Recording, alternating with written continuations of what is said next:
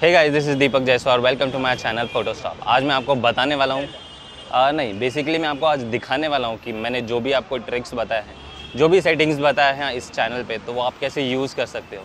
तो मैं निकला हूँ मुंबई सीएसटी के स्ट्रीट्स पे for some street photography so let's start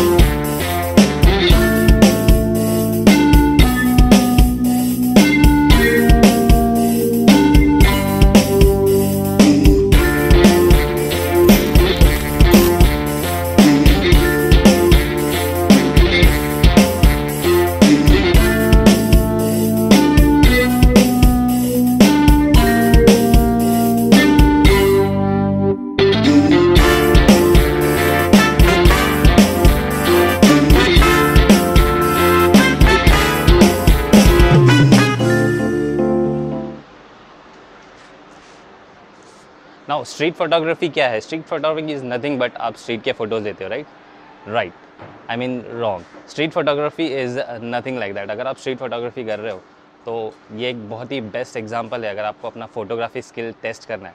because streets unexpected होते हैं. आपको अनएक्सपेक्टेड चीज़ें मिलेंगी यहाँ वहाँ पे. आपको पता नहीं होगा कि आपको किसको शूट करना है. अगर आप थोड़ा सा भी एक चीज़ मिस कर लेते हो तो आपका वो शॉट मिस हो जाता है. तो ये आपकी क्रिएटिविटी भी बढ़ाती है एंड आपका जो जो सेटिंग्स है, वो आप कैसे फटाफट चेंजेस कर सकते हो। नाउ एक मैं एग्जांपल दूँगा, आप इसमें अपर्चर प्रायोरिटी मोड यूज़ कर सकते हो।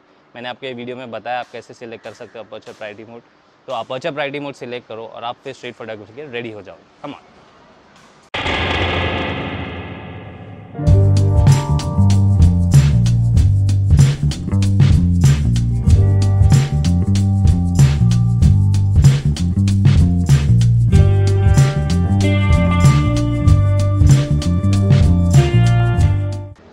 नाउ स्ट्रीट फोटोग्राफी में आपको डिफरेंट लाइटिंग कंडीशंस में भी काम करने को मिलता है, जैसे कि ये।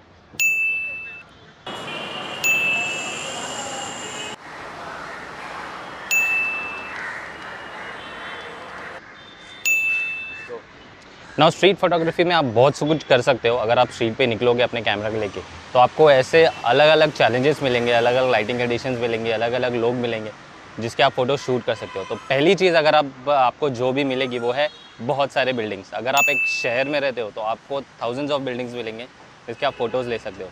ना इसको बोल सकते हैं हम लोग आर्किटेक्चरल फोटोग्राफी इसको एक टर्म दिया गया है। तो अगर आप देखा, देखोगे आर्किटेक्चर फोटोग्राफी के फ़ोटोज़ तो बहुत सारे बिल्डिंग्स होते हैं, जिनके अलग अलग एंगल से लोग फ़ोटो शूट करते हैं। एंड आप इसमें भी एक्सपेरिमेंट कर सकते हो। मीन्स यहाँ पे आपको बहुत सारी अपॉर्चुनिटीज़ भी मिलेंगी। आप क्रिएटिविटी भी अपना दिखा सकते हो आर्किटेक्चरल फोटोग्राफीज़ में। जैसे मेरे यहाँ पे कुछ फ़ोटोज़ लिए हैं। ये कुछ फ़ोटोज़ है जो मैंने यहाँ पे लिए हैं। आप देख सकते हो यहाँ पे मैंने यहाँ पे मैंने डिफरेंट लाइक लाइटिंग एडिशन सारी चीज़ें यूज़ की है। तो आप इसके इसका भी फ़ायदा उठा सकते हो उसी product all right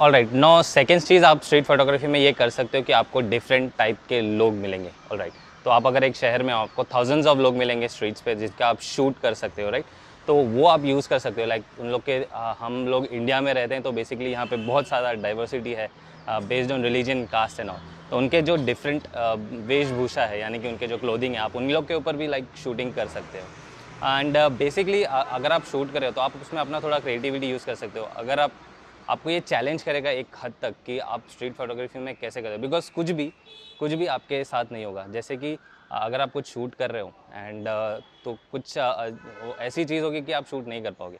like like वो कंडीशन कुछ सेकेंड्स के लिए होगा। तो वो आपको देखना पड़ेगा टाइम मैनेज करना पड़ेगा, जिसका आप यूज़ कर सकते हो अपने स्ट्रीट फोटोग्राफी में। ना आप डिफरेंट डिफरेंट लोगों के फ़ोटोज़ ले सकते हो राइट एंड जैसे जैसे आप ये डिफरेंट लोगों के फ़ोटोज़ लेते रहोगे तो ये आपको चैलेंज करेगा, आप कैसे उस चीज़ को क्रिएटिविटली यूज़ कर सकते हो। आप कैसे फ्रेम कर सकते हो अपने पिक्चर को, कैसे फ्रेम कर सकते हो उन लोगों को जो आपके कंट्रोल में नहीं है, क्योंकि ये सारे लोग अपना काम कर रहे हैं नॉर्मली एंड आप वहाँ पे फ़ोटोज़ खींच रहे हो। तो वो आपको चैलेंज करेगा, कैसे आप उसको एक फ्रेम में परफेक्टली डाल के एक अच्छा फोटोग्राफी ले सकते हो।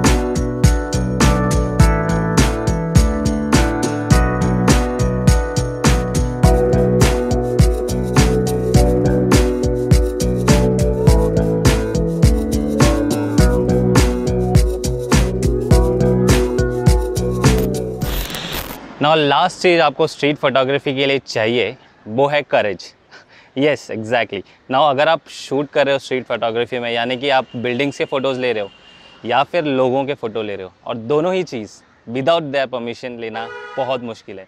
तो अगर आप ऐसी कोई जगह का फ़ोटो ले रहे हो, जहाँ पे फ़ोटोज़ अलाउड नहीं है, या फिर लोगों का फ़ोटो ले रहे हो, अगर उन्होंने आपको देख लिया तो वो कुछ सस्पिशियस करेंगे. तो इसके लिए बहुत करेज चाहिए नॉर्मली मैंने जहाँ पर जितना फ़ोटोज़ क्लिक किया है तो लोगों को प्रॉब्लम नहीं होती है। आर्किटेक्चरल फ़ोटोज़ तो आप ले ही सकते हो।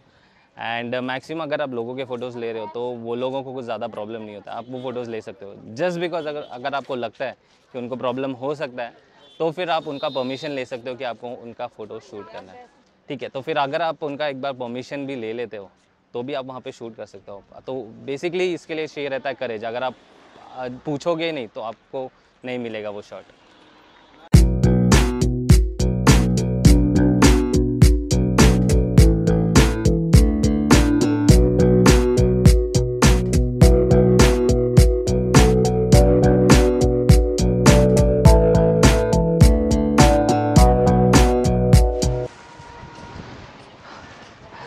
ना ये बेसिकली तीन चीज़ जो मैंने आपको बताई है यानी कि आप आर्किटेक्चर का फ़ोटोज़ ले सकते हो आप लोगों के फ़ोटोज़ ले सकते हो।